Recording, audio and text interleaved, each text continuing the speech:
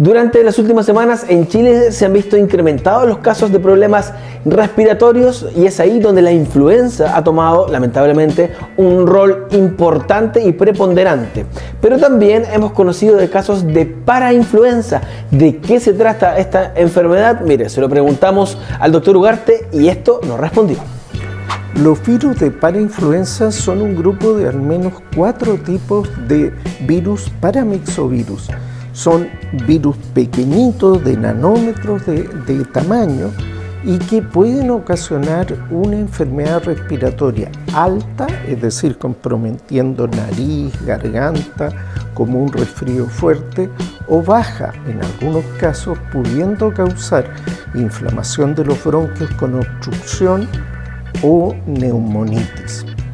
Una de las preocupaciones que pueden tener los casos más severos que es personas que tengan déficit inmunitario, adultos mayor con frecuencia, es desarrollar un cuadro de obstrucción bronquial que conocemos como bronquiolitis.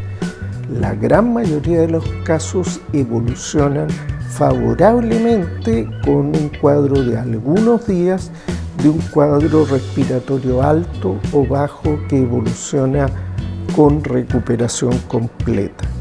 Sin embargo, no tenemos un tratamiento específico para estos virus y damos tratamiento sintomático, analgésicos para disminuir el dolor o para bajar la fiebre, hidratación abundante.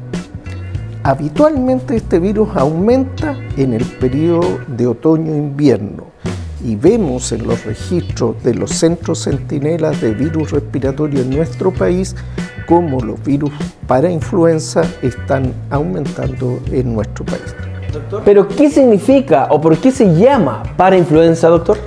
Los virus para influenza son de un grupo que son los paramexovirus y de ahí su nombre para influenza.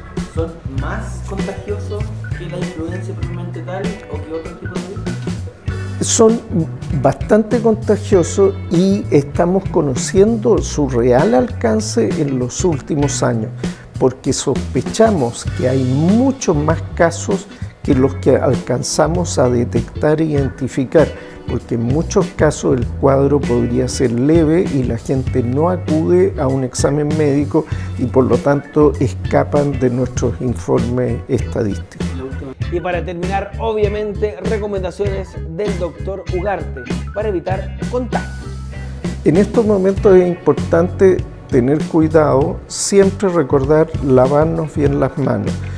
Tendemos a asociar los virus respiratorios con uso de mascarilla, pero eso es solo una parte del riesgo.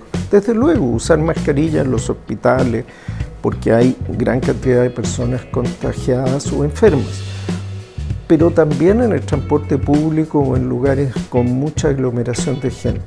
Eso lo entendemos. Nos cuesta más entender la importancia de lavarnos las manos, alimentarnos sanamente, abrigarnos bien, de manera de no correr riesgo y no contagiar a nuestra familia. Además, recuerden que para muchos virus, no para todos, pero para algunos de ellos, influenza, y coronavirus, afortunadamente tenemos vacuna y para los niños pequeños, recién nacidos o lactantes de ciertos grupos, tenemos la posibilidad de inmunización pasiva con un anticuerpo monoclonal en que Chile es el primer país de Sudamérica que cuenta con él. La vitamina C puede ayudar a nuestras defensas y además a disminuir la respuesta inflamatoria. Si uno tiene un déficit de vitamina C puede ser de utilidad. Si toma de más, la verdad es que lo va a perder en la orina y no va a jugar ningún rol. También la vitamina D resulta clave para nuestro sistema inmunitario.